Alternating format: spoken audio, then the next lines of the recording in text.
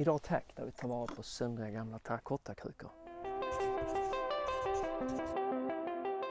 Välkommen till Trädgårdshacks med Gardner. Det brukar bli så här att de här ramlar ner och går sönder under säsongen. Då brukar jag spara dem i min hink. Så en massa söndriga krukor där. De kan man återbruka. Ta en sån här tygpåse i med lite krukrester i den. Sådär. Och sen på med skydd. Alltså Hörselskydd. Ögonskydd. Sen tar man en hammare. Så slår man det här till små bitar.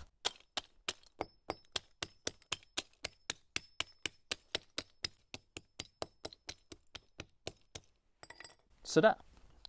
Och vad ska vi nu göra med dem då? Jo, det här pulvret ska vi nu använda. Jo, för sen kan man pimpa någon krukväxt med det här.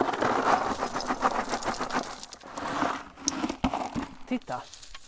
Ser det inte medelhavsigt, medelhavsigt ut? Sen kan man ju såklart använda gamla takpannor eller tegel till det här också. Lycka till!